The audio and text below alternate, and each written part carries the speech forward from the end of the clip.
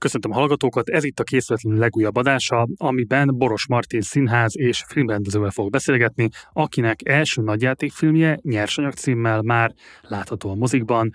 Mindenképpen nézzétek meg, ha eddig még nem láttátok volna.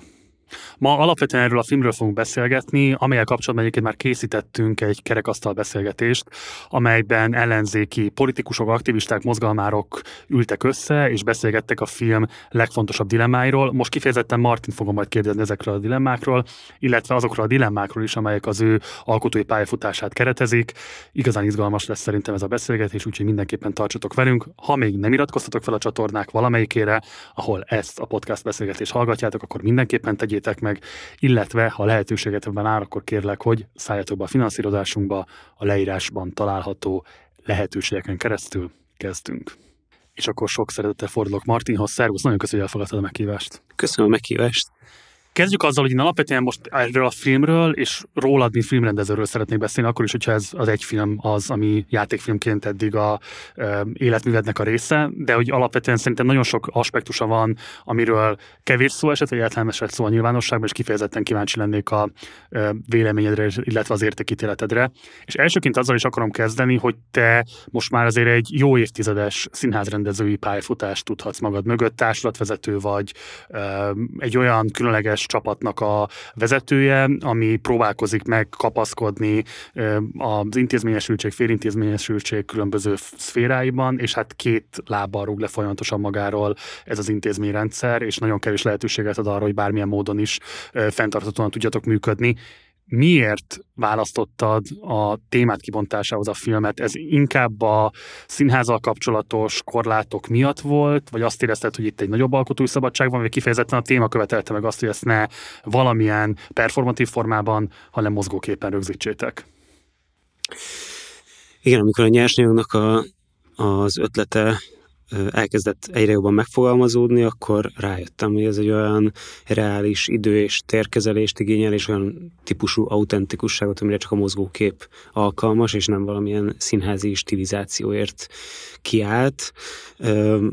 Ez azért van, mert a filmnek a 80%-a az egy kis településen játszódik, azért, mert olyan szereplők vannak benne, olyan érintettek, akiknek egy része mondjuk gyerekszereplő, vagy roma szereplő, vagy mert olyan nem tudom, különleges élethelyzetet sugal az ő karaktere, amit így azért a megszokott, meg a, a nem megszokott színházi közegből nehéz lenne kiállítani. Úgyhogy, és nem is volt egy teljesen elrugaszkodott gondolat az alkotói pályámat nézve sem, mert volt akkor már mögöttem két rövidfilm, meg egy, meg egy dokumentumfilm, és ezért mertem egyáltalán elkezdeni gondolkozni azon, hogy, hogy ebből egy nagy játékfilm legyen. Azon túlmenően, hogy mennyi értéke van a filmnek, van egy fontos kérdés, ami adódik általában egy első filmes rendezőnél, hogy miért pont ez a témád. És ugye általában van egy ilyen megfontolás, legalábbis Magyarországon, hogy az első filmnek egy kvázi ilyen így jöttem filmnek kell lenni, ami egy ilyen alkotói művészi bemutatkozás azzal kapcsolatban, mik a legfontosabb dilemmák, amelyek foglalkoztatnak. Nyilván lehet egyébként analógiát húzni a film egyik főszereplője, Tamás és közted, adott esetben már csak azért is, mert hogy hasonló a, szakmai érdeklődésetek. Ő is egy rendező, társulatvezető, pont az első filmének a elkészítésére aspirál, amit egyébként egy pályázati támogatás meg nem ítéléssel keresztbe vág, és közben egyébként egy nyári tábor tart gyerekeknek, amelyben alapvetően dramatikus eszközökkel próbálnak közösséget építeni. Szóval, hogy ilyen értelemben így jöttem film, vagy egyáltalán nem volt ez fontos neked, ha nem volt fontos neked, akkor miért pont ezt a konfliktust választottad, amit a filmben bemutatsz? Én abban szerencsés helyzetben voltam, hogy nem az volt, hogy van egy filmrendező identitásom, vagy egy film készítő identitásom, és akkor így valóvá nagyon le kell mélyre kotorni, nyúlni, hogy akkor most mi legyen az, az én bemutatkozó filmem, mert egyáltalán nem volt, és nincs is rajtam ilyen nyomás, hogy én így a filmes szakmába letegyem a névjegyemet, mert, mert egyszerűen nem ez az alapvető identitásom, hmm. és nincs is például képzettségem sem, szóval én színházi dramaturg szakra jártam, és alapvető filmes és nem tudom, tudás, ismeretek olyanok, amiket abszolút on the fly, miközben csináltam, közben sajtítottam el, nem mellesleg a, azok által a, a profi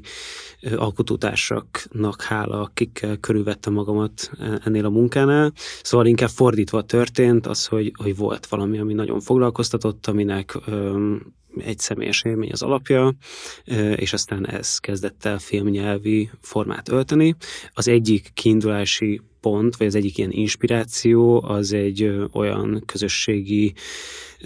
színházi és filmes munka, ami nagyon hasonlít a nyersanyagnak az alapszituációjához. 2017-ben én részt vettem egy, egy közösségi projektben, egy Baranya megyei aprófaluban, ahol azzal az ajánlattal mentünk a helyi fiatalokhoz, hogy készítsék el a saját rövidfilmjeiket, és mi ezt facilitáljuk, ezt a folyamatot is segítjük a magunk módján, de ők lesznek alapvetően azoknak az etüdöknek az írói, rendezői, operatőrei, szereplői, és onnantól kezdve, hogy elkezdődött ez a munka, az első találkozástól kezdve az ötletek kipattanásán át, a forgatás, és aztán végül az, hogy elhozták ezt Budapestre a Trafó 350 fős közönség előtt levetíteni, erről készítettünk egy dokumentumfilmet. És szerencsére annak az egykori munkának egyáltalán nem volt ilyen ö, ellentmondásos vagy tragikus kimenetele, mint ami aztán ebbe a fikcionalizált történetben, a nyersanyagban van de már ott szembesültem, és azóta minden közösségi, részvételi, állampolgári, politikusabb színházi projektnél, ahol valamilyen marginalizált csoporttal dolgozunk, hogy, hogy milyen ellentmondásokat és milyen buktatókat, csapdákat tud egy ilyen helyzet magába foglalni, kezdve onnan, hogy milyen az, amikor egy alapvetően izoláltan élő csoport nagy nyilvánosságot kap, hirtelen reflektorfénybe kerülnek, akkor ilyen szerzői, alkotói dilemmák, hogy milyen ponton, milyen szinten használtam fel valakinek a történetét, akár tragikus történetét, hogy mi történik egy közösségi projekt végén, mi történik az utánkövetéssel, vagy éppen annak a hiányában, meg, meg az a típusú ilyen alkotói vagy értelmiségi gőg, amikor azt hiszi az ember, hmm. hogy jobban meg tudja oldani egy közösségnek a problémáit kívülről, mint ők maguk vagy amikor csak szimplán hazudunk magunknak, vagy, vagy illúziókat keltünk a saját munkánk fontosságáról és céljáról, és ez mondjuk minden ambiciózus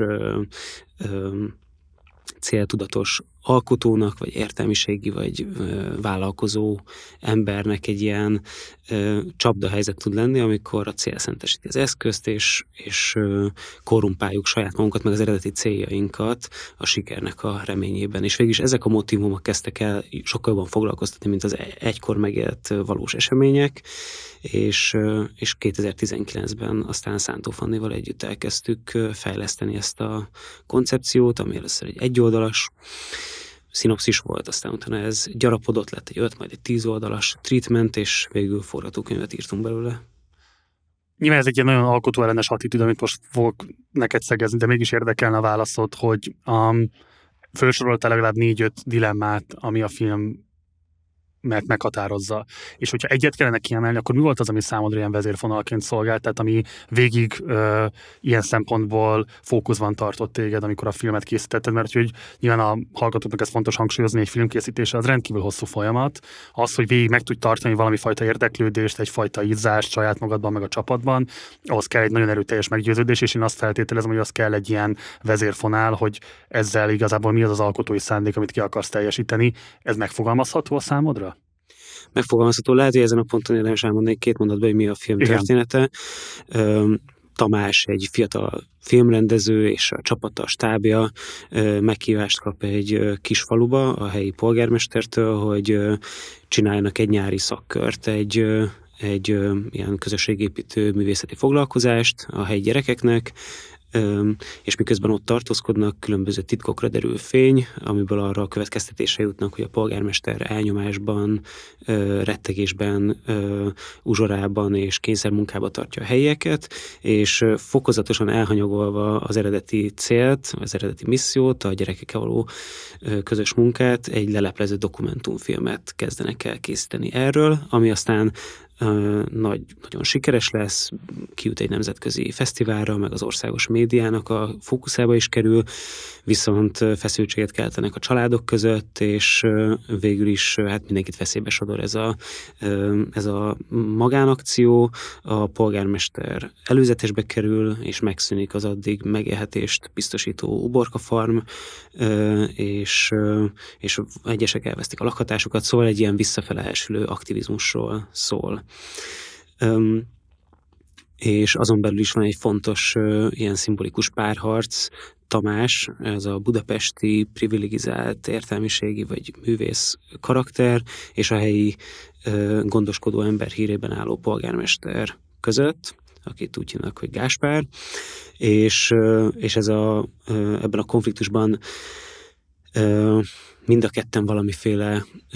sikerre akarnak vinni egy ügyet, aminek nagyon súlyos ára van, és ezt az árat nem ők fizetik meg. Úgyhogy lényegében ez lett számomra az ilyen vezérfonál, hogy mi a siker ára, és, és ki fizeti meg. Hm. Tamás visszaél a belévetett bizalommal, és ellenmondásos, akár törvénybe ütköző, immorális, meg szakmaiatlan módszereket is használ azért, hogy amúgy lebuktasson egy ilyen ö, hatalmával visszaélő, korrupt, bántalmazó polgármestert, a polgármester pedig megkérdezhető módszerekkel, szintén törvénybe ütköző módszerekkel, uzsorával, gyerekmunkával, stb. próbál egy prosperáló közösséget építeni, nem kizárólag önös érdekekből, de azért természetesen azért saját maga felé is hajlik hmm. a hm. keze. Szóval ilyen, ilyen ellentmondásos, kicsit ilyen labirintusszerű ö, alapállapotot próbáltunk vázolni. És akkor a történet után arra rátérve, hogy mi volt ez a vezérfonál, ami végig benne tartott a történetben és az alkotói folyamatban? Szerintem ez a siker iránti vágy, meg, a, meg annak az ára, ö, hmm. ami, amiben mindig ö,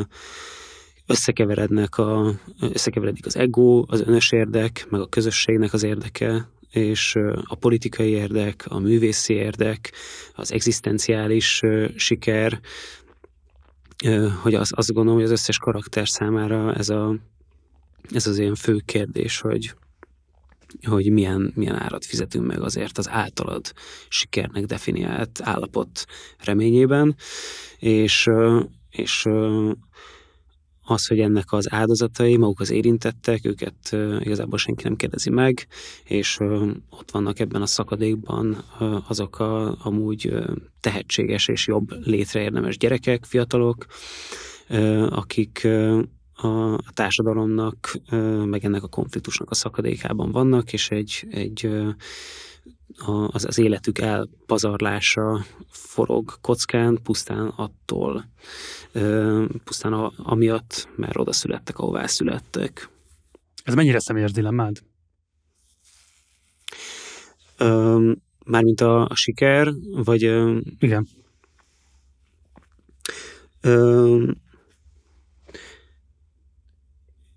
nekem szerencsére nem, nem kellett eddig ennyire ilyen nem tudom, súlyos dilemmákkal szembenéznem, mert úgy érzem, hogy így ezen a hazai független színházi, független filmes pályán, egy ilyen nagyon pici pályán focizunk, egy ilyen, egyfajta ilyen egérfarmon, szóval nagyon kicsi tétek vannak, és nagyon-nagyon kicsi, kicsik a sikerek, kicsik a kudarcok, ez, ez egy idő után borzasztó fárasztóvá válik egyébként nyilván, de hogy 11-2 éve igazából nekem a, a saját munkámért, meg a saját munkatársaimért kell felelősséget vállalnom, meg a, meg a nézőkért, akik, akik bizalmat szavaznak ennek, úgyhogy és ez szerencsére eddig különösebb ilyen etikai ellenmondások nélkül sikerült. A beszélgetés úgy fogalmaztam, hogy szerintem nagy erénye a filmnek az, hogy pontosan tudja azt, hogy kik a néző, hogy kikhez, pontosan, hogy kikhez szeretne eljutni, kikhez akar szólni. Ezt jól érzékeltem, hogy te nagyon tudatos voltál azzal kapcsolatban, hogy ma kik azok, akik egyáltalán elmennek moziba megnézni egy magyar filmet, és hogy azzal az intencióval is készítettétek a filmet, hogy ezek az emberek, ezek lássák ezt, és szembesülnek ezekkel a dilemmákkal? Igen, szerintem ez, szerintem ez elég pontos, vagy én merem remélni, hogy ez, ez, ez tényleg ennyire tudatos volt, mint amennyire te látod, hogy azért a nézőknek a legnagyobb része legalábbis a moziforgalmazás időszakában, meg aztán esetleg, hogyha egy streaming szolgáltatóra felkerül, akkor ez nagyvárosi értelmiségi közönség lesz, akik egyébként szerintem egy nagyon értékes és fontos közönség, bár talán mostanában annyira nem szexi ezt képviselni, de igenis azért a, a középosztály és az értelmiségnek nagyon-nagyon nagy ö, szerepe és felelőssége van abban, hogy, hogy mifelé tereli a társadalmat, mit ö, lehet lenyomni a torkán, mi az, amit ki tud követelni, mi az, ami mi az, amiben megtalálja saját maga felelősségét, úgyhogy ebből a szempontból ez abszolút ö, ö, célközönségnek ö, nevezhető, miközben nyilván nagyon, mivel maga a filmnek a, dramaturgiai terepasztala, meg a, a figurái, azok azokban a például a segítő szakmában dolgozók is nagyon magukra ismerhetnek, hiszen ők azok ma a jelenlegi társadalomban, akik érintkeznek, és akik, akik egyfajta ilyen hidat képeznek a, mondjuk a társadalom mély szegénységben élő rétegei, meg a városi privilegizált társadalom között. És ők azok, akik nap mint nap szembesülnek nagyon hasonló dilemmákkal, mint a filmbéli Tamásék. Ezt most csak azért említem meg, mert, mert nagyon sok ilyen visszajelzést kapunk terepen dolgozó, vagy ezt a közeget nagyon jól ismerő szakmabeliektől, akik valamilyen pedagógiai vagy szociális területen dolgoznak, hogy úristen az elmúlt 10-15 évemet tűpontosan ábrázolja, meg azokat a dilemmákat, meg azokat az attitűdöket, amikkel találkozunk, úgyhogy őket még ezen belül is egy ilyen különlegesen fontos célközönségnek tartom. De egyébként én, én bennem van egy ilyen remény, ami lehet, hogy naív elképzelés, de, de van bennem egy ilyen vágy, hogy egy milyen vita indító vagy feldolgozó típusú funkciót is el tudjon látni, hogy, hogy olyan érintettek körében vetítsük a filmet, a megfelelő feldolgozó, facilitátori szatellitprogrammal, akiknek ez a mindennapi, mindennapjaikat írja le. Tehát olyan, olyan falubeliek, akik, vagy, vagy olyan ö, állampolgárok, akik ehhez hasonló uh-huh. falvakban laknak. Engem alapvetően azért hozott intellektuálisan izgalomba a filmed, vagy a filmetek, mert míg a hasonló típusú nem tudom én, valamilyen fajta alkotói küldetéssel készülő filmeknél általában az érzékenyítés, amit én egy porzasztó fogalmnak tartok, és rettenetesen kártékonynak, de hogy alapvetően valami ilyen típusú attitűddel szokták készíteni a filmet, hogy ott is van egyfajta tudatosság a néző közönséggel, hogy hát ébredjetek rá arra, hogy egyébként milyen élethelyzetek vannak még a világban, és akkor ezzel kezdjetek valamit, rendjetek meg morálisan, háborodjatok föl, legyen belőle valamilyen politikai cselekvés. Ami szerintem egy ilyen nagyon-nagyon kártékony fölfogása úgy a művészeti munkának, mint a politikai cselekvésnek. És szerintem ami nagyon erős a ti filmetekben, és idehaza ebben mindenképpen egyedülálló, hogy itt ti valójában nem másokra akartok rámutatni, hanem azokra, akik a nézők, és az ő osztályvakságukra. És van egy barátom, aki egyszer azt mondta, hogy igazából ő nem művész ember, de ő tökre szét csinálna egyszer egy olyan képzőművészeti um, projektet, hogy így a Katona József Színház, meg a Trafó bejárat el így fölfújná esténként csak annyit, hogy önök, akik majd belépnek, azt gondolják, hogy jó emberek, de valójában tévedésben vannak. Ami nyilván egy ilyen igazságtalan dolog ezzel a két színházzal szemben, még igazságtalan dolog ezekkel az emberekkel szemben, de azt feltételezem, hogy te is érted, hogy ebben van valami egyébként, amivel dolgunk van, nekünk is a Partizánban, meg nektek is a nyersanyagban, és nagyon érdekelne ez a kérdés, hogy te e, mikor találkoztál először azzal, hogy ez a típusú, hadd nevezem akkor tényleg egy osztályvaksága annak a közönségnek, akihez szólni akarsz, ez számodra egy feladat, hogy ezzel valamilyen formában foglalkoz, hogy ezről valamit, nem tudom én, állíts, adott esetben szembecsítsd ezeket az embereket ezzel, vagy ez egy teljesen fals leírás annak, hogy milyen alkotói, nem tudom én, szándékokat detektáltam a művedben? Um, azt, azt tény, és én is így gondolom, hogy, hogy a, a nyersanyag forgatókönyvírásánál, a karakterek ábrázolásánál, a vágásnál azt egy alapvetésnek gondoltuk, hogy a nézőink tudják, hogy milyen országban élünk, és hogy ismerik ezeket a dinamikákat, és ezeket nem kell elmagyarázni, de egyébként egy, egy külföldi néző számára sem. Szóval éppen elég csak úgy oda tenni azt az EU-s táblát félig letört állapotban a, a nyomorúságos játszótérre, és nem kell arra egy ilyen közelít mutatni ahhoz, hogy, hogy az, akinek erre van szeme, és az, aki ismeri ezt a bizonyos terepasztalt, ami játszódik a történet, az így is felröhög rajta. És, és nem kell különösebben bemutatni azt, vagy elmagyarázni ilyen infantilizáló módon, hogy mit jelent az, hogy egy ilyen feudális közegben élünk, meg hogy mit jelent az uzsora, meg hogy mit jelent a,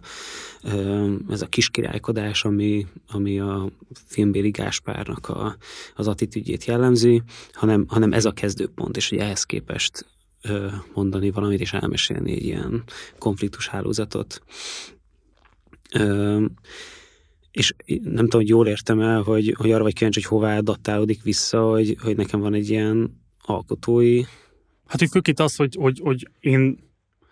ha így most nagyon patika mérlegen kellene kimérni, hogy kifelé húz inkább talán az alkotó, vagy kiről akar, kivel, tehát hogy olyan, valószínűleg aki beül erre a filmre, és egyébként a kerekasztal beszélgetés is ezt mutatta,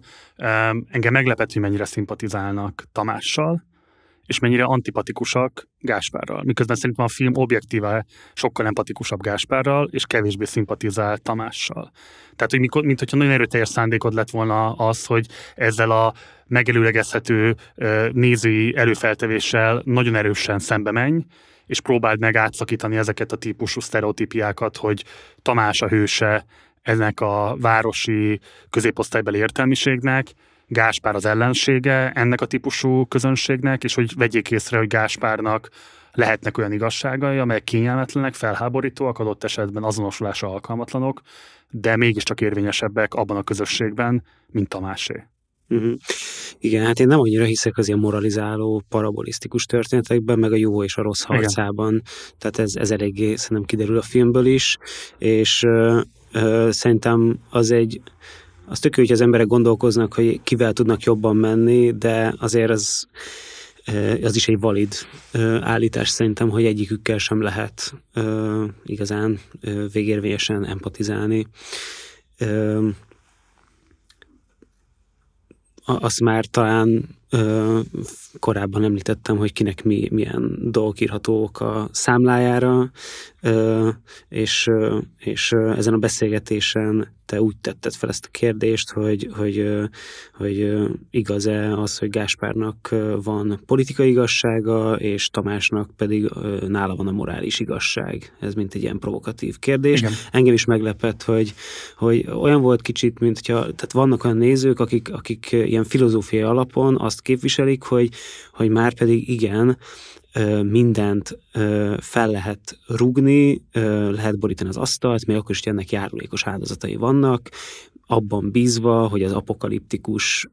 világban majd valamilyen pozitívabb erő jön el önmagától.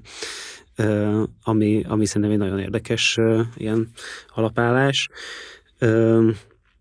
akár úgy is téve ezt, hogy nem kínálsz közben alternatívát. Ö, és a, a másik véglet pedig azt mondja, hogy nem, mert, mert az, az etikai szabályok írott iratlan kódexek szerint és a, a tapintatosság jegyében hunjuk be a szemünket, és menjünk el ilyen dolgok mellett, mert nem az én feladatom, hogy, hogy exponáljak egy, egy korrupt, bántalmazó embert, aki nem az én közegemben van. Hm. Borzasztó nehéz dilemma, szerintem. Válaszoltam? Azt feltételeztem, hogy van még egy gondolatod, mert megakadt, megakadtál egy pillanatra. Ö, nem, most nem, nem, nem, nem tudom, hogy jól, mm, jól kapcsolódtam el ahhoz, amit, ö, amire kíváncsi vagy, úgyhogy ezért. Hát egy körre bejebb mennék, tehát engem alapvetően nagyon érdekel az, hogy irritál-e téged az a szociokulturális millió, ami nyilvánvalóan elsődlegesen a közönséged, ami adott esetben elsődlegesen a nem tudom, politikai létezésednek a közege, amiből nyilvánvalóan felteszem, hogy nem tudom, az ismerőseid, barátaid adott esetben, munkatársaid zöme kikerült, tehát vagy ebbe, ezzel kapcsolatban konfliktusban jól érzem el, hogy valamit erről is akartál állítani ebben a filmben. Ja, értem, igen. Szóval ö, én azt ö, tapasztalom, és ez valamennyire szerintem hogy a filmben is benne van, hogy, hogy van egy ilyen látható, láthatatlan szakadék a, a társadalom különböző rétegei között, és hogy igazából a, az elit, ahová magunkat is sorolom, bár nem mi vagyunk az ország vezetői, nem vagyunk a gazdasági elit, de pusztán azért, mert talán meg tudunk élni abból, amit szeretünk csinálni, nem kell gondolkodnunk a napi betevőn, be tudunk szállni egy taxiba, be tudunk ülni bármikor egy kávézóba, szóval azért ez már eléggé szerintem egy ilyen privilegizált állapot, Igen. hogy én így én azt, azt látom, hogy, hogy ennek a, a társadalmi csoportnak egyáltalán nem áll szándékába, vagy nem áll érdekében csökkenteni ezt a bizonyos szakadékot, ö, meg nem áll érdekébe kapcsolatokat teremteni, kapcsolatokat ápolni más társadalmi státuszú hátterű emberekkel, mert nem, nem származik belőle érdeke. Szóval ez egy ilyen nagyon-nagyon durva csapda, és ez biztos nem egy magyar jelenség, hanem egyszerűen az van, hogy aki, aki lehet, hogy politikai alapon nem, de mondjuk gazdaságilag, vagy társadalmi státusz szempontjából haszonélvezője egy, egy státuszkónak, az, az nagyon-nagyon nehezen adja fel a privilégiumait, vagy áldoz időt, kapacitást, pénzt, energiát arra, hogy, hogy, hogy, ez a, hogy, hogy ez a harmónia, vagy ez a, ez a mérleg egy kicsit egészségesebb irányba billenjen. Ez engem természetesen zavar, mert uh, igazából uh, csomószor kérdezik, hogy, uh, hogy honnan van ez, a, ez az ilyen társadalmi érdeklődés, ez az ilyen szociótémák iránti uh, nyitottság, nem tudom. Igazából ez, ez, ez nem egy tudatos döntés, természetesen egyáltalán nem is mondhatnám egy kifizetődő, vagy, vagy nem tudom, pragmatikusan, vagy pragmatikus értelemben hasznos hm. irányvonalnak, most ilyen alkotói szempontból, de hogy, hogy megtalált egy-egy ilyen téma, és azok ilyen kapudrokként funkcionálnak. Mondjuk az egyik ilyen nagyon pregnáns, fontos élmény az a cím nélkül hajlékkaland Igen. játék című lakhatási szegénységgel, lakhatási válsággal foglalkozó előadásunk, amiben egy szociális munkás és egy lakhatási aktivista hajléktalanságot megtapasztalt ember is szerepel a profi színészek mellett, és egyszerűen, amikor hónapokat együtt töltesz valakivel, aki, akinek ilyen a története, és ezt meg is osztja, és a bizalmába fogad, és, és aztán látod, hogy ez milyen hatása van mondjuk a diák közönségre, és mennyire alkalmas a Gyulával, Gyulán, Balogh Gyulának hívják ezt a hajléktalan résztvevőt, az ő vele való személyes találkozás már önmagába milyen sztereotípiák, falak ledöntésére alkalmas, az egy olyan elementáris erővel tudhatni az alkotó emberre is, hogy, hogy utána nagyon nehéz valahogy ilyen kevésbé húsba vágó hm témákkal foglalkozni. Szóval ilyen módon egy kicsit ilyen organikusan vagy, vagy ösztönösen terelődtem ebbe az irányba, és egy kicsit, hát azért szerintem mindenki így egyre, egyre nagyobb, egyre összetettebb és egyre nehezebb rudakat akar megugrani, és, és akkor így ez, ez nekem fontossá vált a, a színházi munkába, ez a típusú részvételi, meg, meg civil érintettekkel, szakértőkkel való közös munka, akik végül is a esetek többségében színpadon is találják magukat, az ő történeteik, meg az autentikusság, meg hogy valami teljesen új megközelítésből egy olyan témát, ami nincsen, rongyosra beszélve ezek, ezek a témák kezdtek izgatni. Mik voltak a filmes előképét kifejezetten, mondjuk a magyar filmes előképét? Tehát szerinted a nyersanyag milyen hagyományból építkezik, vagy milyen hagyománynak a tovább örökítője? Van egyáltalán ilyen értelemben előképe? Biztos van, de most így nem akarom kiadni a filmes műveletlenségemet, de mondjuk például azért van egy ilyen fogalom, amit ilyen budapesti iskolának szoktak nevezni, amiben az improvizációnak, meg a civil szereplőknek a, a minősége, vagy az, amit ők tudnak behozni, az, az egy ilyen kiemelt szerepe van. Úgyhogy Úgyhogy például ez a fajta megközelítésmód, ez még szerintem egy csomószor akkor is az emberben benne van, hogyha ezt így nem, nem tudatosan, meg nem, nem tanulta, hanem egyszerűen így szerintem van, van ilyen ö, ö, társadalmi, ilyen kollektív ö, szellem, nem tudom, amiből ez így ö, öröklődik, igen, egy ilyen, egy ilyen öröklött szemléletmód, vagy a, a szarkazmus, az irónia, szóval ezek így, ezek így ö, átitatódnak. Ö, nekem inkább lehet, hogy ennek a konkrét filmnek nagyon sokféle előképe volt, mert volt, ami inkább ilyen tematikailag, volt, ami inkább vizuálisan ö, számít előképnek, de mondjuk én így nagyon szeretem a Ruben Östlund ö, filmjeit, azon belül is nyilván a, a négyzet az egy ilyen, számomra egy ilyen mesterműnek, vagy kategóriába esik, ö, ami,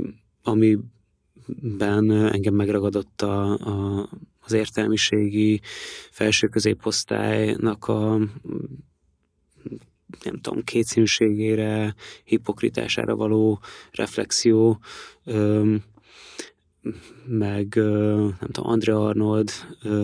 filmjei a, a maguk ilyen, az, hát nem tudom, szociográfiai minőségeikkel. Úgyhogy természetesen vannak előképek, de, de mm, ezek nem ilyen, nem ilyen példaképek, hanem egyszerűen csak olyanok, amik az ilyen kollektív tudásnak a részei. Csak az Ösztund filmre visszautalva, hogy most említetted azt, hogy érdekel, vagy mennyire érdekesnek találtad a, a, az értelmiségi um, hipokrita hozzáállás, ezt mondtad, ugye ezt, ezt használtad. Mm, téged alkotóként foglalkoztat bármifajta osztálybűntudat? Hát ezt, ezt a, a munkáimon érdemes számon kérni, vagy keresni. Engem, engem az, az érdekel, hogy, hogy valóban tisztában vagyunk-e azzal a közösséggel, amiben élünk, annak a vakfoltjaival, és hogy abban nekünk van-e valamilyen felelősségünk. Ezért foglalkoztat az, hogy, hogy olyan embereket úgymond reflektor fénybe állítani, akik amúgy izoláltan vagy magányosan végzik nagyon sokszor a, a munkájukat. Hát egyébként nekem feltétlenül lesz jobb a, a lelkiismeretem, de de rosszabb, az biztos, hogy nem. Szóval például számomra ilyen fontos mérföldkő volt a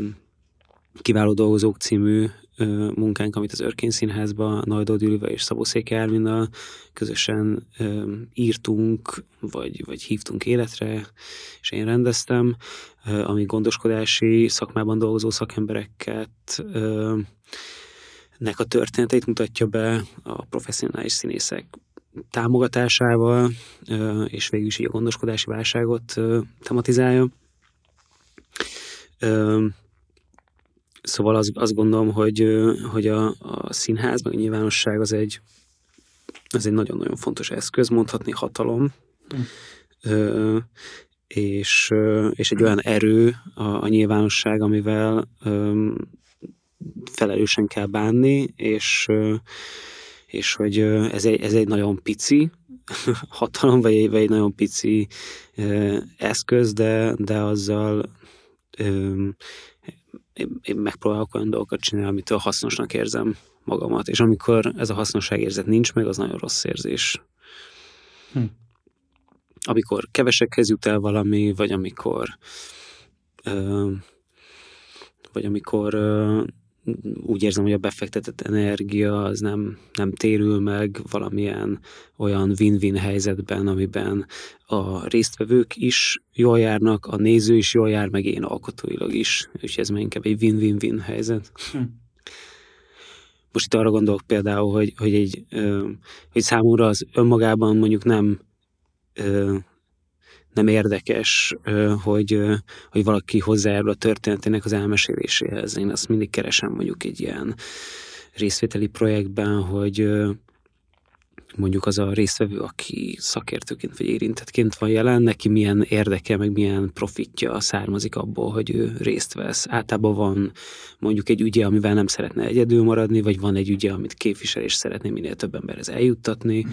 Tehát ez egy, senki nem szívességből, vagy exhibicionizmusból vesz részt egy ilyen előadásba, hogyha ő nem egy professzionális szereplő de mondjuk van a Kolónia című előadásunk, amiben egy iráni apa-fiú a Buzár és Ármin vesznek részt, akik a déli határon működő tranzitzónáknak az utolsó Magyarországon maradt szemtanúi, hiszen miután bezárták a tranzitzónát, mindenki, aki tehette az első hétvégén tovább szökött Szlovákia vagy Ausztria irányába, és, és ők valamiért úgy döntöttek, hogy maradnak, és el is mondják a saját történetüket, ami egy 7 éves menekülés történet, de annak az utolsó másfél évét ebbe a konténer börtönben töltötték ugye teljesen illegálisan, mármint abban az értelemben, hogy jogszerűtlenül voltak fogvatartva, 99 gyerek volt az akkor talán 160-170 fogvatartott közül, és, és egy pici konténerbe éltek 553 napon át, és ez nekik fontos volt, hogy elmeséljék ezt a történetet azoknak a magyaroknak, akik nem tudják, hogy, hogy ez hogy nézett ki, meg, meg az, azt is, hogy miért maradtak ehhez képest mégis itt, és hogy mi van velük most. Szóval én ezt a, az ő nem tudom, tehát hogy számukra is hasznos az, hogy, hogy nyilvánosságot kap az ügyük. De közben meg számomra is fontos, hogy többet adjon az előadás, mint, mint hogyha ugyanezt egy közéleti sajtóterméknek a hasábjain olvasom el, hogy abban legyen valamilyen olyan érzelmi vonal, legyen benne valamilyen érzéki, színházi hatással dolgozó vonal, amitől ez mélyebbre tud menni, mint amikor ez csak egy ilyen infópak, és mindezt azzal a felelősséggel csinálni, hogy ez a néző számára is átélhető, élményszerű, szórakoztató legyen, annak ellenére, hogy mondjuk milyen súlyos egy-egy téma. Hm. Amit mondtál, arra az jutott eszembe, és nagyon kíváncsi a véleményedre, hogy megyünk majd most egy országos turnéra a Partizánnal. Talán mikor ez az interjú kikerül, már lehet is tudni a helyszíneket, ha nem, akkor az egyik témát most mindenképpen lehet majd tudni, mert ugye ezekre a helyszínekre hét különböző állítást viszünk majd el. És az egyik állítás az így szól, hogy, hogy, hogy minden művészet szükségszerűen politikus. Te mit gondolsz erről az állításról? Én szerintem ezzel egyetértek, hogy tudok vele menni, de lehet, hogy azért, mert én nagyon ebbe élem a, a hétköznapjaimat, meg, meg amikor így a, egy picit el játszottam a gondolattal, vagy az eljátszásnál azért egy kicsit komolyabb volt, mert beadtam egy konkrét pályázatot a Trafónak a vezetésére, ami egy intézményvezetői identitás lett volna, nagyon-nagyon mm, más, vagy új terep, ahhoz képest, amit addig csináltam, szóval akkor, akkor el kellett gondolkoznom ilyen struktúrális értelemben is erről, és azt hiszem, hogy ott is igazából egy olyan vonalat képviseltem, ami ezzel az állítással összhangban van. Nyilván az is politikus, amikor valami, vagy az is, tehát egyen hátrébb lépve az, az is politikusnak tekinthető, hogyha valami nagyon tagadja a, a politikusság látszatát, legyen szó egy, nem tudom, egy vigjátékról, bohózatról, vagy valamilyen, nem tudom, egy nemzetközi kasszasiker, vagy egy mozinak a, az adaptációja az, hogy, hogy egy színház ilyeneket, ilyen témákat vállal fel, abból is kiolvasható valamilyen politikusság, vagy, vagy a politikai állásfoglalás de mivel, mivel azért a, a színház eléggé egy ilyen látlelete vagy leképezése annak a közösségnek, társadalomnak, amiben élünk, a, a témák miatt, a közönség miatt, aki oda jár, ezért szerintem megkerülhetetlen egy, egy politikai értelmezés. Van, aminek az esetében szerintem nem érdemes annyira a, a politikusságot számon kérni, vagy, vagy ilyen lencsén keresztül nézni. Szóval azért vannak, vannak olyan érzékekre ható, absztrakt ilyen nagyon-nagyon nem intellektuális síkon ható, vagy hatni vágyó művészeti alkotások, amiknek természetesen tud lenni valamilyen ö, közösségi, társadalmi, politikai ö, interpretációja, de a nézőt nem ez érdekli. Ez a művészet felfogás, vagy az, hogy ebben osztozol, ez mennyire magányosít el téged a korosztálytársaid, vagy a szaktársaid körében? Magányosnak nem érzem magamat, ö, és... Most szakmailag értem kifejezetten. Igen, igen, igen, világos. Ö, én azt látom, hogy, hogy szerintem az elmúlt 5-6 évben bátrabban állnak bele emberek közösségi, politikusabb, közéletibb témákba, ami vissza is mondom, nem bátorság kérdése, szóval nem, nem belevalóság kérdése, hanem, hanem egyszerűen eltolódott a figyelem, és így jobban fókuszba kerültek olyan válságok, krízisek, amik egyszerűen szerintem az alkotókat jobban izgatja. Van abszolút egy ilyen kör, nagyon Budapest-centrikus azért, nagyon ilyen kortás és független, színházi széna centrikus, szóval abszolút csak ezekbe a körökbe, vagy főleg ezekbe a körökbe lehet ezt így keresni. De, de azért vannak, vannak idők, amikor mondjuk azt gondoltam, hogy a, a Stereoact is egy sikeresebb ö, ö, társulat lenne, hogyha ha lenne még 5-6-8 más kollektíva, akik mondjuk hasonlóan hisznek a kortárs tematikákban, a dokumentarizmusban. Van akár csak egy még szerinted Magyarországon? Mint kollektíva, nem tudom, szerintem a, a, ugye a K2 megszűnt és átváltozott apertúrává, és egy ilyen sokkal hatványozottabban fókuszálnak ilyen tantermi, ifjúsági tematikákra, az, az, az, egy, az egy szerepvállalás szerintem, és, és a, a témákat tekintve is egy ilyen politikusabb megközelítés. A Kelemen Kristófnak nincsen saját társulata, de ő is viszi a dokumentarizmusnak, meg az ilyen kortárs témáknak a, az ügyét. A panodráma, ameddig létezett, abszolút egy ilyen rokonítható műhely volt Lengyel Anna vezetésével, úgyhogy, úgyhogy vannak ilyenek, de nem, nem annyira tendenciózus, vagy, vagy nem annyira kizárólagosan. De, de igen, szóval, hogy, hogy ha csak a, ha csak a, nem tudom, egy tizede lenne annak, ami mondjuk Németország nagyvárosaiban ilyen hasonló szemlélete működik, akkor, akkor szerintem az a közönséget is, a szakmát is radikálisabban tolná el egy olyan irányba, ami, ami hajlandó leszakadni az irodalomról, a drámáról, meg a, négyfal dogmájáról, a frontálisságról, és nem kéne egy ilyen kuriózumként kezelni, hogyha valami elhagyja a hagyományos színházi teret, hogyha valami elhagyja a hagyományos nem tudom, szereplő gárdát, vagy, a, vagy a, az irodalmi megközelítést. Hm. Van egy méltánytalan kritika amit meg lehet fogalmazni méltányosan is, és én méltányosan szeretném megfogalmazni, de el kell mondani a méltánytalan formáját. Szóval, hogy alapvetően van egy ilyen visszavisszatérő dolog, hogy hát a politikailag érvényes művészeti alkotások, mint hogyha egyébként az esztétikai érvényességet nem priorizálnák, vagy nem lennének képesek igazából kitölteni, és ezért a politikai érvényességgel próbálják érvényesíteni saját magukat, de közben valójában esztétikailag még nem képesek, mint művészeti alkotás beteljesíteni a küldetésüket. Szerintem ez Magyarországon sokszor azért is méltánytalan kritika, mert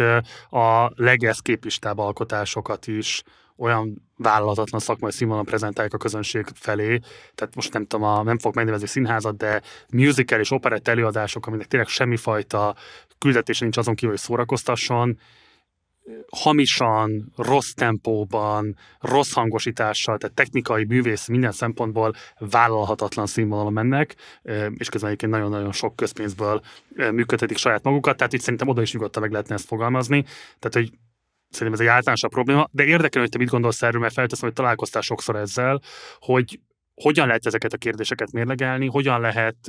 a politikai érvényesség mellett olyan formanyelvi, esztétikai érvényességet is kidolgozni, amit mi művészeti alkotást képes, az adott alkotást a közönség számára, nem tudom én, érzékelhetővé, átélhetővé, zsigerivé tenni. Számomra ez egy központi kérdés, vagy mondhatni úgy is, hogy az elmúlt 5-6 évemnek az egyik ilyen fő missziója volt ennek a tanulmányozása, vagy ennek a, ez, ez ezzel való kísérletezés, és az ebbe való minél mm, hatékonyabb elmélyülés, az, hogy az tényleg működjön színházilag bármi, amit csinálunk, mert a legitimitását veszélyeztetjük azzal, hogyha valami túl hosszú, átélhetetlen, hiteltelen, és nincsenek benne olyan stimuláló ö, hatások, amiktől ö, egyszerűen mélyre megy és élvezetes marad. Ö, és ez nem egy egyszerű feladat egyáltalán. Szóval ö, kezdve onna, hogy ö, hogyha ö, autentikusságra vágyunk, és arra, hogy mondjuk bizonyos szereplők a saját történeteiket a saját szavaikkal mondják el, ezer millió szempont bejön, hogy nem mondjon olyan ö, dolgokat, vagy olyan formában, amitől hitelteleníti saját magát, ö, hogy ne legyen túlzóan sok mondjuk az információ, de kellően reflektált uh-huh. és árnyalt, ö, hogyan ö, legyen az mondjuk egy képszerű, úgymond koreografált dolog, amit végül is a színpadon látunk, úgy, hogy közben ne érezze azt a néző, meg a szereplő sem, hogy ő valamilyen rendezői víziót, meg instrukciókat hajt végre, hogyan, hogyan tudjuk a fantáziát, meg a, meg a a, az abstrakciót, ö, vagy valami költőiséget megjeleníteni, hogy az közben ne tompítsa az élét ö, annak, ami történik. Ezek, ezek nagyon-nagyon nehéz és számomra nagyon izgalmas szakmai kérdések.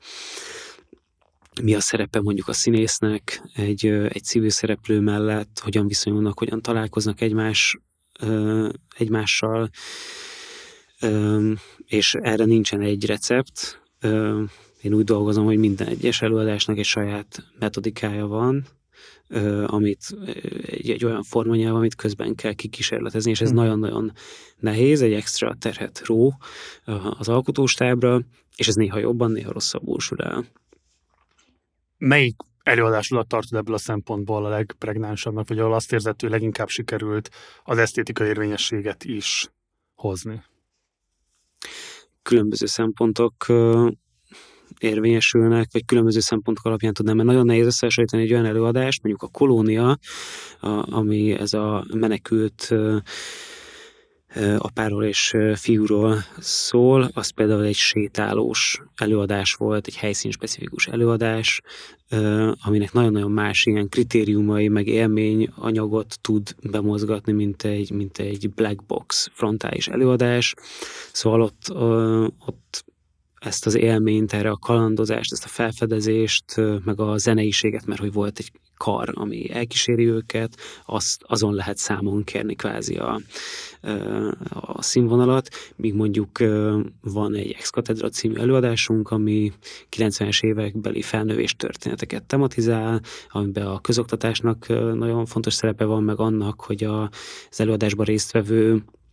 társulati tagok hogyan látták gyerekkorukban az őket körülvevő felnőtteket, szülőket, tanárokat, edzőket, stb. Uh, ahol meg uh, ahol meg ezt a fajta dokumentarizmust, meg az autobiografikusságot uh,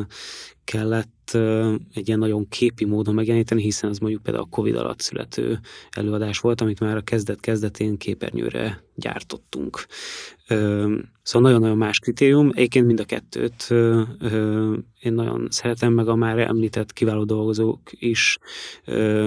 szerintem abszolút mértékben képviseli ezt az esztétikai színvonalat, amitől szerintem az nagyon fontos, hogy egy olyan ember, akinek semmilyen érintettsége, vagy semmilyen előzetes tudása nincsen, ő is érdekelté váljon abba a témába. Tehát, hogyha ha valaki tehát, hogy, hogy ö, egyszerűen a, a, egy ilyen mm, széles nyilvánosságra kell gondolni, még akkor is, hogyha van egy szűkebb célcsoportod, akkor is kell, hogy legyen egy ilyen figyelő külső mm, szem, vagy, vagy, vagy kialakítani ilyen érzékszervet, hogy ez egy, hogy ez megteremti a kontextust az adott előadás, úgy, hogy közben ez ne legyen didaktikus. Ja de tudok negatív példát is mondani.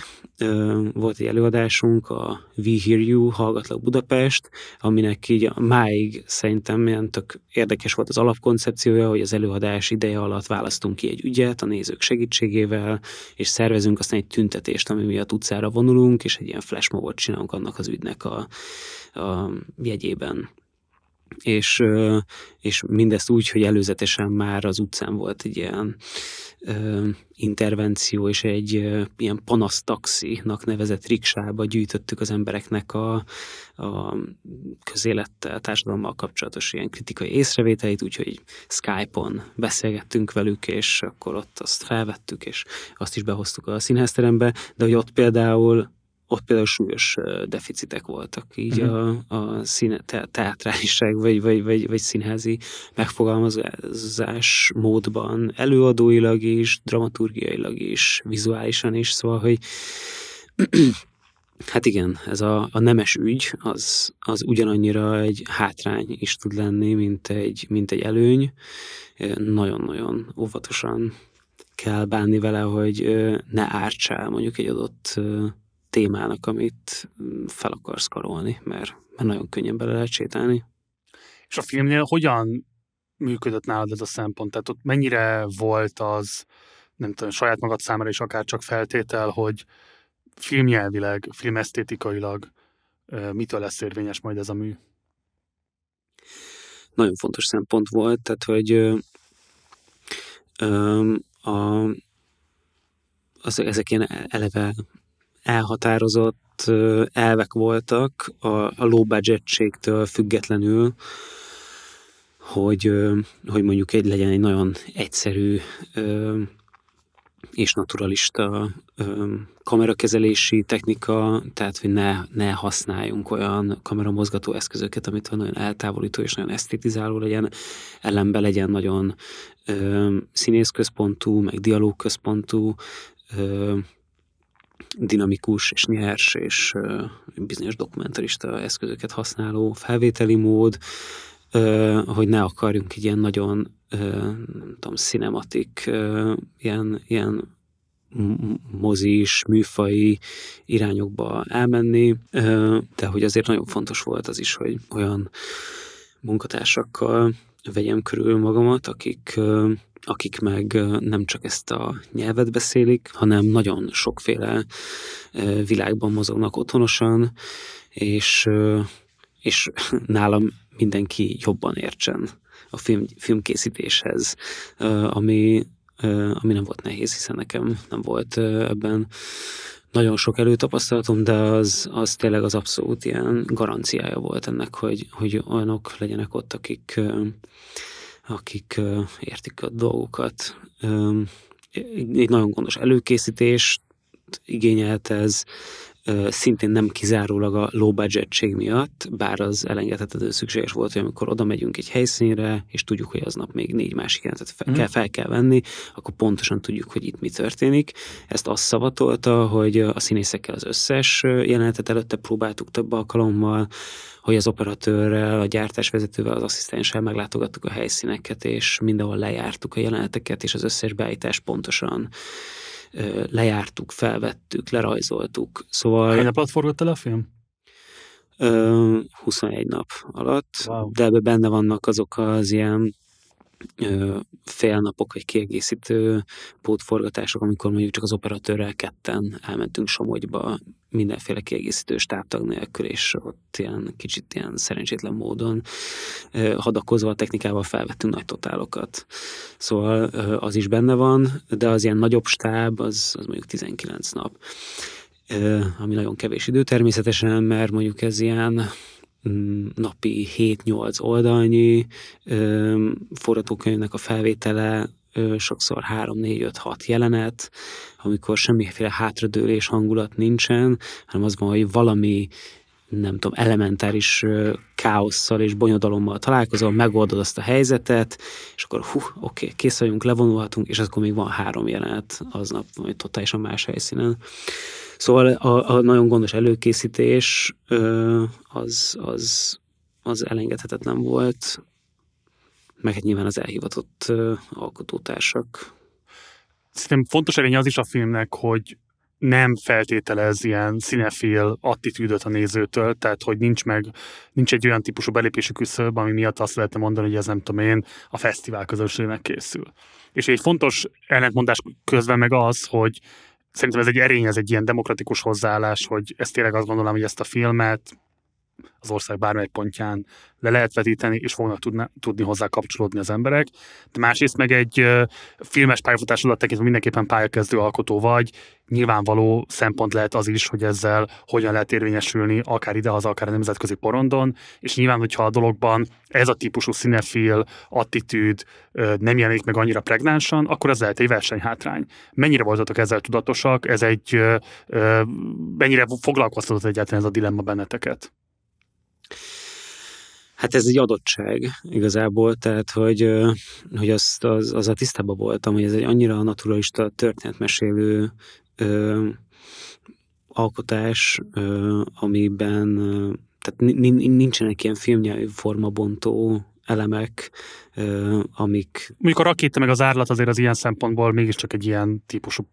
kísérlet, én azt gondolom, meg az egy eléggé tudatos döntés is, hogy a film legutolsó jelenet sora az ez. Igen. Az egy az egy kilépés ebből a, a lineáris naturalista világból, aminek szerintem van dramaturgiai funkciója is, meg van nyilván ilyen alkotói ambíció Igen. benne, mint hogy például azzal is szembesültünk egy ponton, hogy elképzelhető, hogy túl későn bontakozik ki a fő konfliktus, vagy későn jön meg ez a krimiszál, vagy a, a sötétsége a történetnek, vagy az, ami ilyen problematikus, és akkor egy ponton jött egy döntés, hogy az amúgy mostanra már szintén nagyon-nagyon bevett ö, montázs, vagy, vagy ilyen történetmesélő technika, hogy van egy flash forward az elején, amikor a Zsani nevű karakter elmondja, hogy hogy fél a mostóalapjától, és a, valószínűleg kinyírta a kutyát a, a mostóalapja, és van egy ilyen vallomásos jelenet, amiben ö, valaki egy ilyen szélsőséges érzelmi állapotban van, ami felkelti a kíváncsiságodat, de ezt azért, hát ez formulbontónak azért nem lehet nevezni, ez egy nagyon bevett technika, de mondjuk ez, ez ebbe benne volt ö, ilyen szempont is, hogy a, a nézőinknek a kíváncsiságát, vagy egy kicsit az ilyen műfai jellegű érdeklődését kielégítsük. Igaz, inkább egy dramaturgiai döntés. Igen, igen, igen, igen. Szóval ezt a történetet azért ezt nem lehetett volna, vagy ez egy megerőszakolás lett volna, hogyha ezt ilyen nagyon-nagyon szexi módon akarjuk snittelni, és nagyon-nagyon esztétizáló módon akarjuk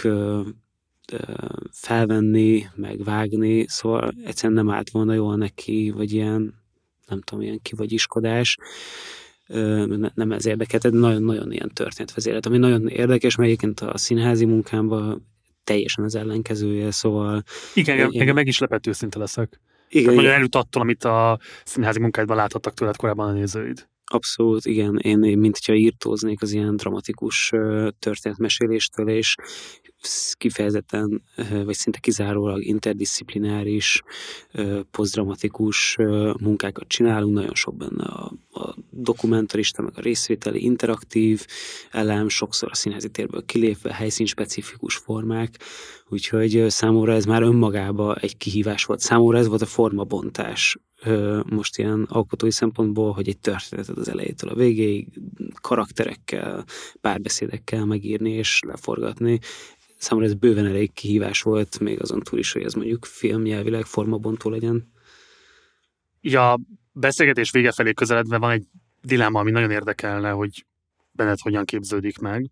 hogy mi kb. egy idősek vagyunk, és uh, amikor mi elkezdtünk, vagy te elkezdtél színház iránt érdeklődni, az a 2000-es évek eleje,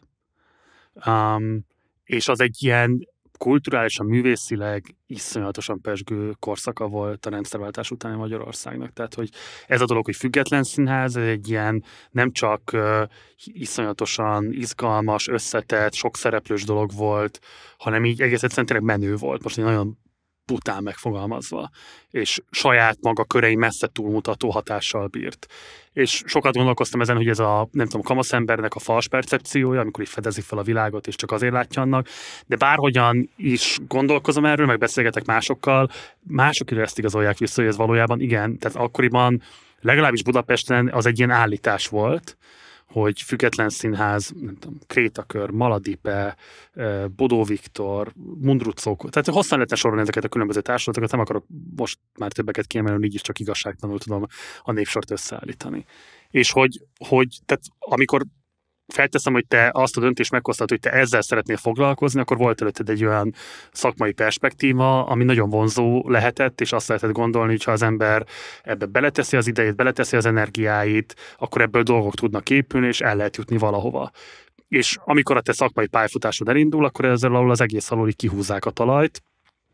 és nem csak, hogy kihúzzák a talajt, hanem hogy valamilyen módon, szerintem az utóbbi tíz évben ilyen drámai módon, nem csak anyagi erőforrásait tekintve omlik össze a széna, hanem úgy is tűnik, hogy nem nagyon vannak olyan típusú formációk, alkotók, akik így erre adekvát válaszokat tudtak volna adni, hogy akár politikailag, akár művészileg hogyan kell ehhez viszonyulni. Még jobban elaprózódott igazából ez a széna. Szóval te hogy érzed most magadat, és hogyha így előre tekintesz a következő 10-20 évedre, szerinted mi fog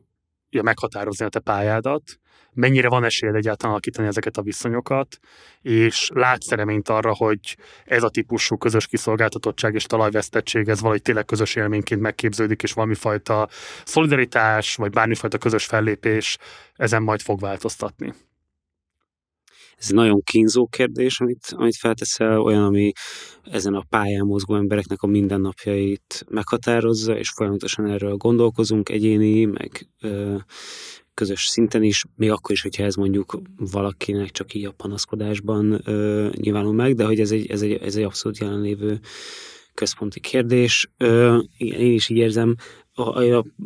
professzionális pályafutásomat azt a 2010-es évek elején kezdtem, amikor már alapból egy ilyen loser helyzetben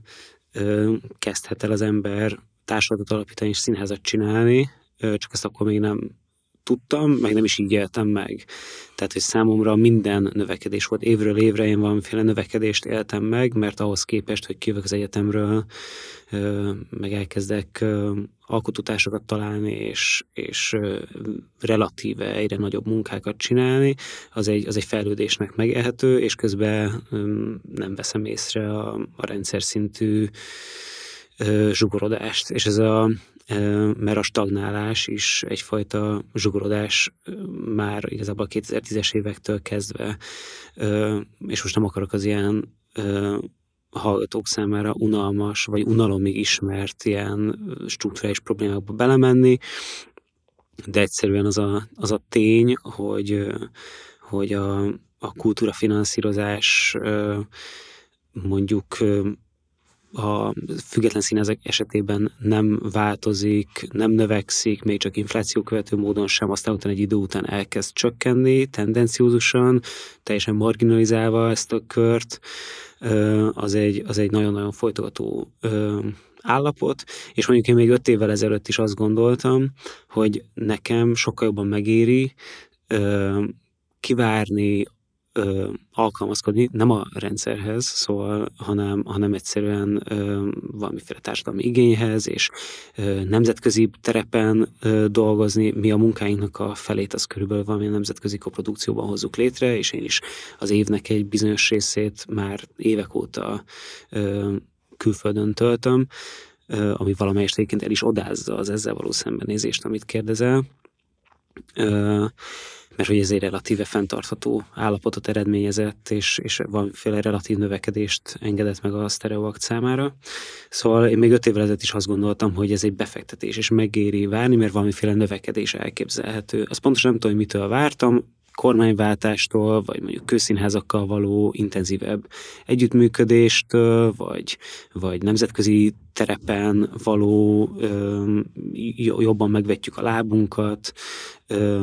vagy valamiféle saját játszóhelynek a megalapítása. Szóval egy csomóféle ilyen lehetőséget láttam, ezek mindegyike olyan, amit, amit most már nem látok. És ez a kínzó része a dolognak, hogy azzal kell szembenézni nem csak nekem, hanem a generáció minden tagjának, hogy, hogy megpróbálunk-e valamit teljesen előről, vagy valamit egészen másképpen felépíteni, és, és egészen átfogalmazni az eddigi aspirációkat. Most mondjuk például gondolok olyanra, hogy, hogy repertoár, ami, ami eddig egy ilyen hamis illúzió volt, hogy ez, hogy ez egy ilyen fenntartható dolog, hogy van pár előadásunk, amit aztán egy havi rendszeressége, vagy havi többszöri rendszeressége megpróbálunk játszani. Ez, le, ez, ez, ez, ennek vége. Tehát ez így egy, egy független színház számára ez így nem, nem, nem járható út. Ami azért ilyen, ilyen uh, elementáris kérdés, mert, mert ez az egész színházi hagyományunk, meg ez az, amiben szocializálódtunk, hogy csinálsz egy előadást, ezt játszod utána. És ez, ez mostantól lehetetlen, mert se pénz nincsen rá, se hely nincsen rá, hiszen az a pár befogadó hely, aminek ez a missziója, hogy a független kultúrát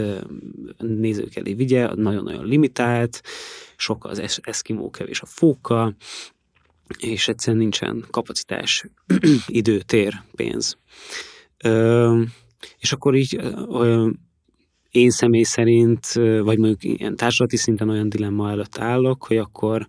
ö, ezt a nemzetközi kozmopolita ö, együttműködéseket vinni, meg mondjuk ö, nemzetközi ö, pályázatokból ö, fenntartani magunkat, per versus, vagy és, vagy valamilyen hiperlokális működés, hiszen megnyitottuk a sztereomifházat, ami egy ilyen közösségi kulturális központ a 8. kerületben, és egy ilyen közösségi vonalra, meg, meg program szervezésre állunk át, mind a kettő legitim, tud is valamilyen szinten együtt működni, de, de én személy szerint most abban a korba vagy életszakaszba vagyok, hogy, hogy mérlegelnem kell azt, hogy hol vagyok a leghasznosabb, hol tudom legjobban hasznosítani a, a tudásomat, és mi az, ami ambicionál, és miközben felelősséggel tartozom annak a missziónak, vagy annak az ügynek, amit mostanáig építgettem, amit most így leegyszerűsítve sztereoaknak lehet nevezni, meg az a formanyelv, meg az a, azok a tendenciák, meg azok a munkatársak, hogy így most ebbe a, a politikai közegbe van-e még arra 8-10-12 évem, hogy, hogy egy ilyen zsugorodó világban megpróbáljak érvényesülni. Nem akarok semmit a szádba adni, de jól érzékelem, hogy valami fajta pálya módosításon vagy elhagyáson dilemmázol? Pályamódosításon nem, de, de az, azt, azt elbírom képzelni, hogy egy év múlva nem Budapest lesz a bázisom. Ha nem? Um, nincsen egy olyan konkrét terv, ami felé ami felé tendálok, de vannak, vannak, vannak opcióim. Fogalmazhatok úgy is, hogy, hogy valami nagyon-nagyon vonzó, izgalmas, kreatív kihívásnak kellene ö, jönnie Budapesten ahhoz, hogy, hogy itt maradjak, mert egyszerűen ö, ö, az, ami öt éve még mondjuk egy befektetésnek tűnt, az most már ö, egyszerűen lehet, hogy egy, egyfajta pazarlásnak. De akkor ez a Budapesten kívüliség, ez nem Magyarországot jelenti, hanem Magyarországon kívüliséget. Igazán. Ez Magyarországon kívüliséget, persze. Hmm. Persze. Hmm. Ö, miközben ez egy borzasztó nehéz dilemma, biztos, hogy mindenki más is ezt mondaná, hogy, vagy nem tudom, sokan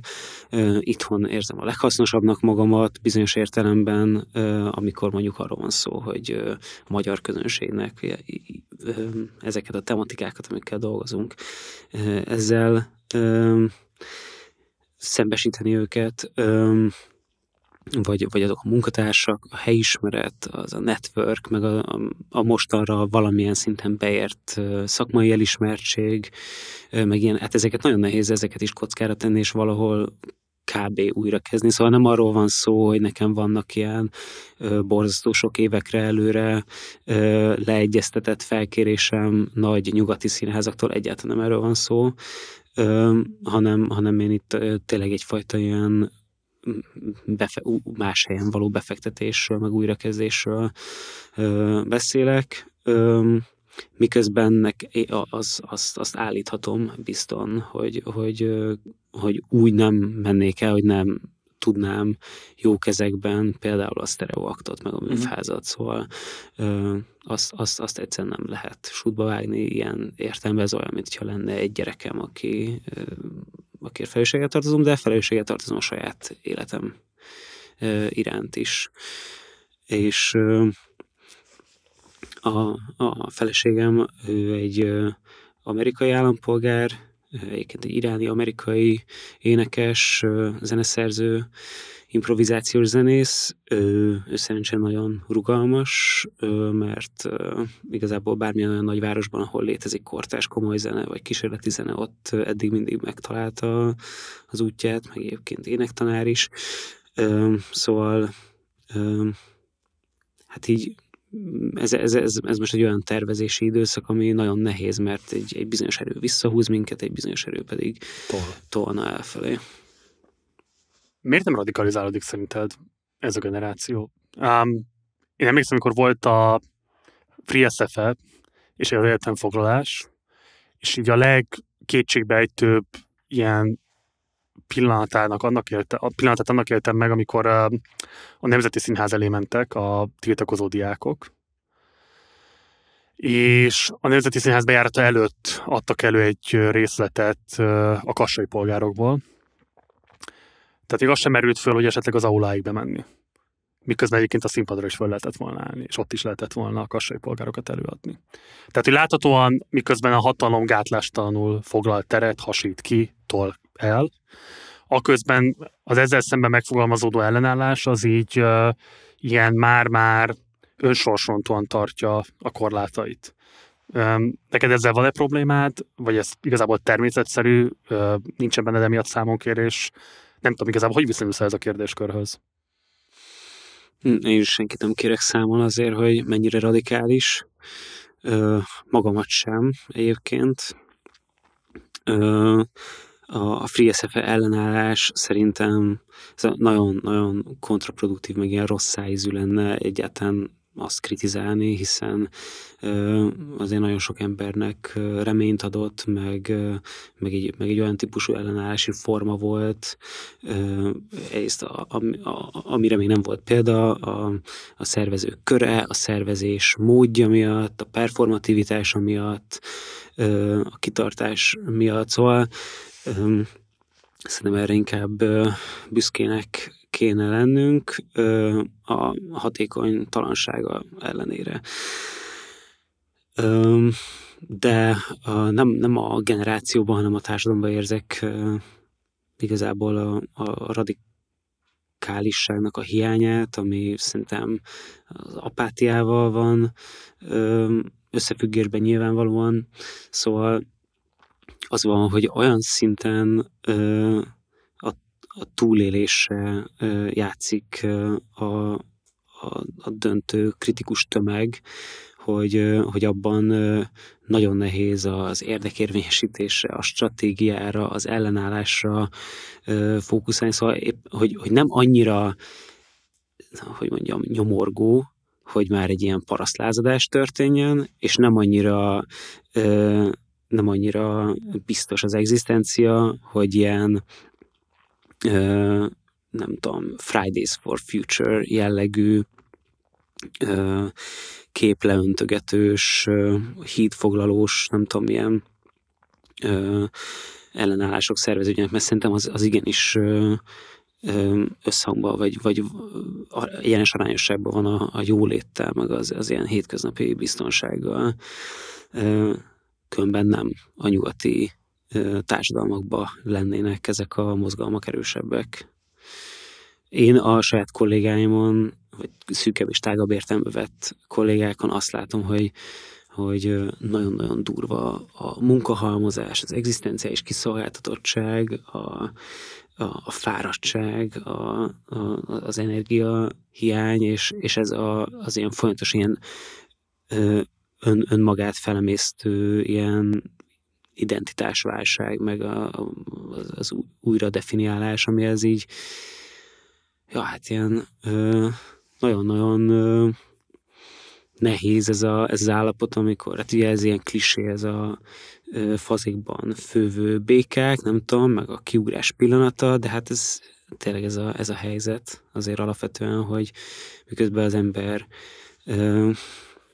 próbálja felismerni, hogy így mifelé mozduljon, hogy, hogy az valami produktívabb állapot legyen, közben közben meg, megfelelkezünk egy csomószor a szolidaritásnak a fontosságáról. Csak az záró kérdés, következő film terve már körvonalazódik el a fejedben, vagy az most egy nagyon távoli vállalás lenne? Egyáltalán szeretnél még filmet csinálni? Szeretnék, igen, mert nagyon élveztem a, a munkának minden szakaszát, és nagyon önazonosnak is éreztem, és ilyen nagyon izgalmas volt. Azt nem tudom, hogy másodikat is ugyanilyen izgalmasan élnék-e majd meg. Üm, és van egy-két téma, ami izgat természetesen, ilyenekben mindig van azért a, a fiókban, de mondjuk a nyersanyagnak is ez nagyon-nagyon jót tett, hogy, hogy éveken át érlelődött, és mondjuk kifejezetten szerintem egy ilyen produktív dolog volt az, hogy először valamilyen dokument, dokumentum igényű megközelítés volt, meg feldolgozás, és aztán utána lett fikcionalizálva, úgyhogy igazából inkább azt mondanám, hogy az tuti, hogyha ilyen konkrétumban fogalmaznék, hogy először egy ilyen kutató munka, meg egy ilyen dokumentumprojekt lenne az első lépés, és max utána, hogyha szükségét érzem, akkor fikcionalizálnám. Ö, arra nincsen most egy elementáris igényem, hogy még egy ö, független no budget ö, magyar filmet csináljak, Uh, ahhoz meg egyszerűen nem vagyok eléggé beágyazva, még nem ismerem ezt a közeget, hogy tudjam, hogy ez hogy, hogy áll össze egy nemzetközi koprodukció, úgyhogy azért ez már csak ebből kifolyólag is egy ilyen biztos egy több éves projekt lesz. Nagyon örülök neki, hogy nem vagyok főállású filmrendező, akinek éveken át azon áll vagy bukik minden, hogy, hogy hogyan sikerül majd a következő filmje, és egy lapra tesz fel mindent, mert az, az borzasztó kínzó állapot lehet, úgyhogy nekem az, hogy ez egy ilyen mellékvágány, vagy egy ilyen hobbi tevékenységben, nem tudom, miközben nyersanyagot csináltam, én létrehoztam négy vagy öt színházi előadást hm. közben, szóval ez egy, ez egy eléggé felszabadító állapot, hogy nincsen egy ilyen alapvetően filmrendező identitásom. Nyersanyag a mozikban ha valaki esetleg a hallgatók közül szeretné megnézni, de a közelébelő filmszínházak egyike sem játsza, mit ajánlasz neki, hogy tud hozzáférni a filmhez? Ö, az biztos segít, hogyha megkéri a, megkérdezi a mozit, hogy elhozható-e, vagy közvetlen kapcsolatban lép mondjuk a Vertigo médiával, aki a forgalmazója, vagy megkeres minket, a Stereoaktot, vagy a Filmfabrikot, a filmnek a gyártóit, mert már most van szerencsére tucatnyi megkeresés ilyen helyi, zárt körű filmklub kapcsán, vagy mondjuk oktatási célra, vagy nyilvános eseményre, hogy ezek, ezek abszolút szervezhetőek, és én ebben látom a filmnek a következő fázisát, amikor hmm. mondjuk esetleg a nagyobb városi vagy budapesti moziknak a műsoráról lekerül, akkor, akkor lesz egy ilyen országjárás vele. Boros Martin, Gratulálok még egyszer a filmetekhez, az összes alkotótársadnak. Szóval mindenképpen nézzétek meg, tegyetek magatoknak egy szívességet ezzel, és lehetőség szerint terjesztétek a hírét az ismerőseitek körében, mert tényleg egy rendkívül fontos filmről van szó, ami fontos, izgalmas, érvényes kérdéseket vet fel olyan dilemmákkal kapcsolatban, amelyekről nagyon kevés szó esik a nyilvánosságban, nem csak úgy általában a magyar nyilvánosságban, hanem a kormánytól független nyilvánosságban is eleve ez a típusú filmezés és filmes megközelítésmód szerintem rendkívül értékes és elismerésre méltó, úgyhogy terjesztétek a hírét, jutassátok el minél többekhez, ha pedig majd már online valamilyen formában streamelhető lesz, vagy adott esetben megvásárolható, akkor pedig ezzel is segítsétek a film utóéletének a gondozását. Szóval be a mozikba, vagy pedig követeljétek ki hogy a filmet tegyék be a moziba.